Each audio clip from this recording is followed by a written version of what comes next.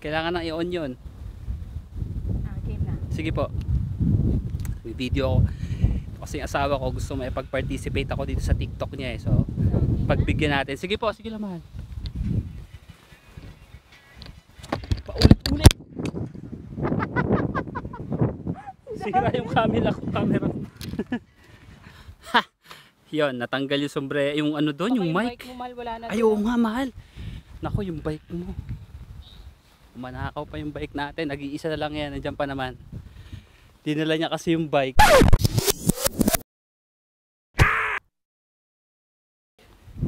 Ay, yung bag mo din. Nandun yung bag mo. bag ni mami talaga. Sa labas kami eh. Ah, pinasyal ko si Kila. Saglit. Mamaya may gagawin tayong video guys ha. Mamaya sasabihin ko sa inyo kung kung saan kung saan pwedeng kumuha ng music na libre pag pag uwi ko sa bahay kwento ko sa inyo. Kwentuhan ko kayo mamaya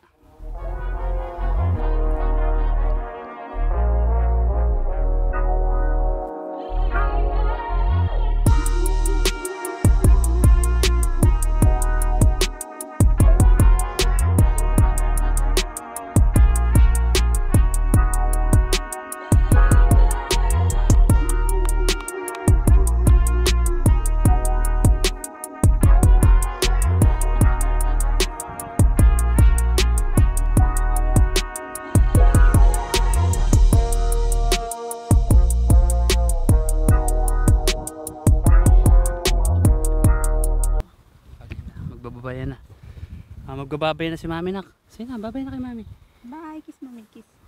Kiss bisis na bisis see you later see you later na kay mami Kiss mami. see you later na kay mami kiss na ayaw Kiss mo mukha ko. nasa baba pala yung camera sige na babay na kay mami Kiss mami. kiss Bye, Kila. Bye-bye. Kiss mami. may camera eh mahihain sa camera sige na mahal para makaalis ka na Para may ihi ako. oh, Ihi mo mo na ako. hmm. Sige na po tara Dito, paano yung bike ko? Ah, dali mo yung bike mo.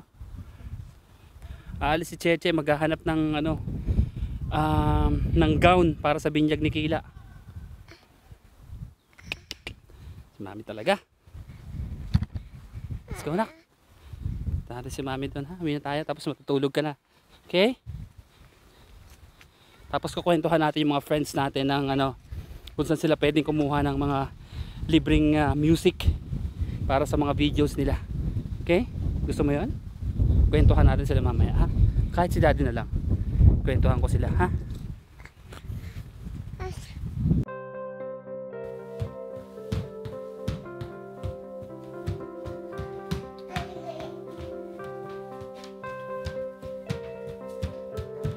Nakakatawa lang guys kasi marunong na siya maglakad, marunong siya magbukas sa mga drawers namin. It's like there's a brand new era na parating. Parang gano'n. Ah, masaya ako at blessed kasi nakita mismo ng dalawang mata ko yun. Nasaksihan ko mismo yung mga milestones niya. At yun talaga yung hindi mababayaran ng pera. Kailangan Ano, marami. Maraming gusto mo kailangan. Wala, kaka-vacuum mo pa naman. oo? Ah. Hala. Hala. I-finish that mo. Yummy. Marunong ka na magbukas-bukas ah.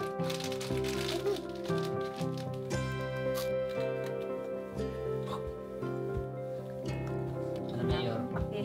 Alis na ako. Tapos na nakuha ko na yung gusto ko. Masaya ako nakasama ko siya habang lumalaki. Ganun. Yun, nakakatuwa lang. Nakakatuwa. Kahit alam kong mahirap yung parating, mas magiging mahirap. But looking forward. Love you, Nak. Yun, kagaya ng nabanggit ko kanina, sasabihin ko sa inyo kung saan ako kumukuha ng mga libreng music. Teka lang, gaano ba kahalaga ang music sa mga videos natin? Eto yan eh. Pagkakaanong ko lang to, pagkakaintindi ko ha. Ang music, nabibigyan niya ng mood yung isang video. kumbaga yung romantic na na scene or na video, mas nagiging romantic pa. Ganun. Parang mas nagiging cinematic siya. Ganun. Nabibigyan niya ng dynamics yung isang video.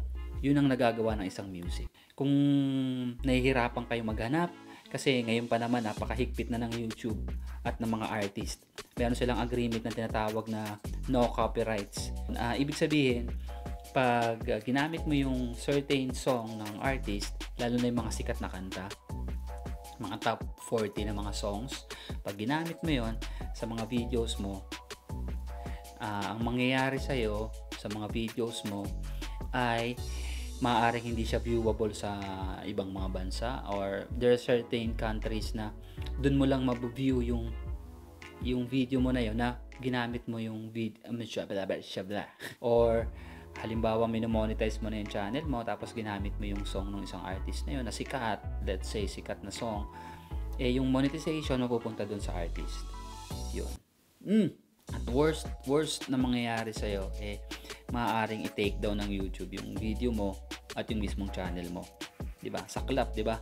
So doon tayo sa libre at legit. Marami kasi mga artists ngayon na sinishare nila yung mga mga music nila ng libre. So kailangan mo lang hanapin 'yon. 'Yon. So etong mga sites na to, ah, hindi sites actually, sa YouTube lang din mismo. Ah, makikita mo doon yung mga channel na to. Nagbibigay sila ng mga libreng music na pwede mong i-download na walang copyrights. Ang pinupuntahan ko, meron lang akong dalawang pinupuntahan na channel. Yung no copyright sound at saka yung audio library. Yung audio library, meron silang 3 million subscribers and thousands of uh, uh, music na pwede mong i-download. Tapos yung no copyright sounds, it's, it's like they have 2 million subscribers na. Tapos mga 700 uh, download. Pwede mong i-download. I-Englishin pa kasi. Ililink ko rin naman yun dyan sa baba. Sa description box. Ito pa matindi. Sa YouTube din mismo, meron silang tinatawag na audio library. So, audio library, yun. Makakakuha kayo na maraming mga music para sa mga videos ninyo. Kung something para lang sa mga vlogs nyo, okay na yun. Wala na kayong magiging problema. Okay naman yung mga sounds. Sample nga, sample.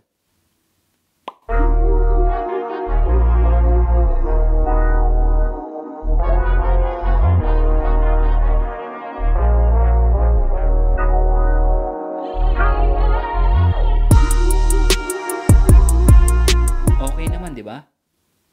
So, yeah, bakit hindi, di ba? Yun, libre na nga eh.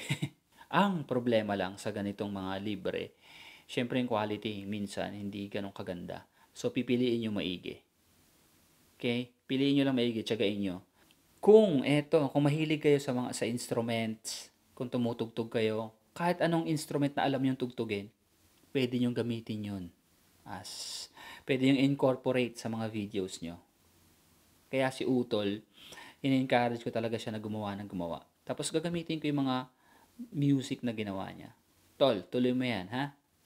Ayos yan. Pagkakitaan mo yan sa sa future. Ako, pag pumipili ako ng isang song para sa video ko, depende minsan sa mood ko eh. Kung, uy, feeling ko maganda to. Yun, yun ang ilalagay ko. Yun guys, sana nakatulong tong video na to sa inyo, no? Kahit papano, kung nahihirapan kayo at nasolve ko kahit papano yung problema ninyo kung saan kayo pwedeng kumuha ng mga music. Okay? Sana nakatulong ako sa inyo. Salamat sa panonood, ha? Salamat. Salamat sa inyo. Salamat sa mga nag-subscribe.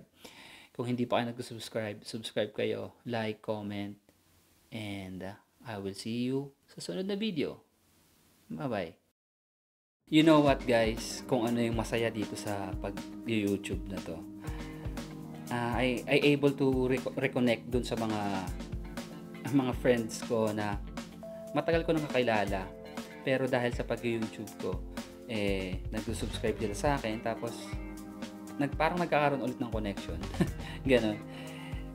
Tsaka yung yung mga nag-subscribe sa akin, alam nyo na napapasaya nyo ako.